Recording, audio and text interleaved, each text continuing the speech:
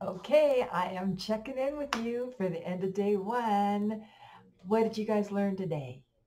Um, I'm hoping that you had a little bit, just a little teaser of um, what human performance technology, HPT, um, can actually do for you. And it can do so many things, right? From helping you with pain, with um, balance, stability, focus, energy, um, increase sports performance. Um, and so I'm hoping that you got kind of a little taste of it. We're going to go through and do some more stuff tomorrow. Um, have a great evening and I'll see you tomorrow.